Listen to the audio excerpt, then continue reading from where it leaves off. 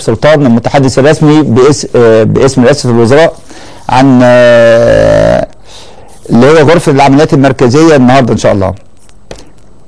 ألو أيوه معالي السفير أهلا وسهلا أهلا بحضرتك. فندم كان في خبر النهارده إن معالي رئيس الوزراء آه، كان اجتمع بخصوص آه، غرفة العمليات في الحكومة عشان الطقس.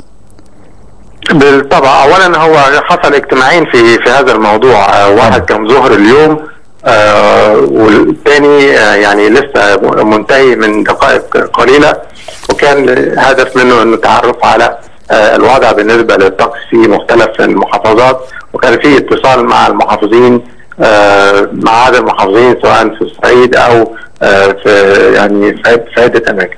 كان يعني طبعا في تقارير على حالة الطقس في المحافظات يمكن بعض المحافظات زي الأقصر أو أسوان وكده بعض الطرق آه، تم غلقها نظرا لسوء الحالة الجوية.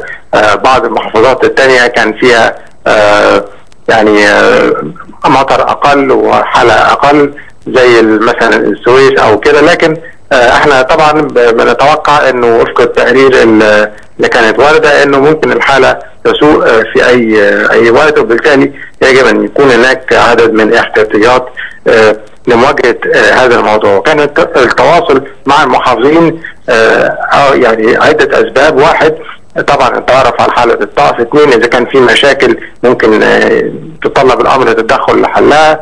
ثلاثة دايما التوثيق بين المختلف المحافظات لأنه أحيانا مثلا زي محافظات الأقصر وأسوان لما يتم غلق طريق لازم يكون في تنسيق بين المحافظتين آه، في مواضيع معينة. معالي معالي آه، السفير هل هل في مراجعة لجميع أعمال البنية التحتية في جميع آه، المدن الجديدة وحتى المحافظات؟ لأن خلال الفترات اللي فاتت آه، في في في في عصور سابقة كان في شبهات فساد موجودة وكان الناس ممكن يبقى وده حصل قبل كده في القاهرة الجديدة لما تم تحويل بعض المسؤولين في النيابه العامة نتيجة خطوط المية اللي كانت غير مطابقة للمواصفات.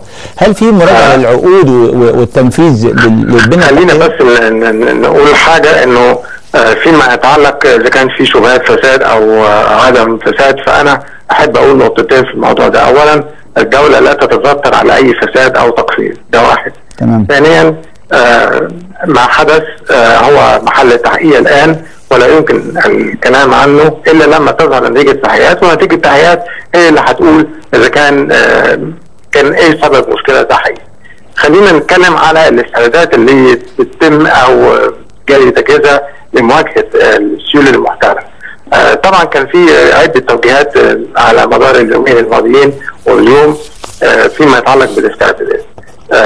واحد اولا لازم يكون في فرق طوارئ غاز وكهرباء ومياه في كل المحافظات ثمان فرق طوارئ في مجالات مختلفة تكون متواجدة.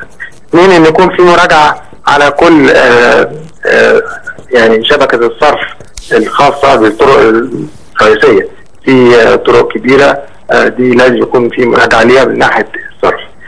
ثلاثة أن يكون في آه، مصادر آه، أكثر من مصدر لتغذية الكهرباء بالنسبة لمحطات الرفع ومحطات الصرف. أربعة أن يكون في نوع من التدريب وأن يكون في غرف طوارئ إقليمية بحيث أن المحافظات ممكن تستعين آه، من خلال هذه الغرف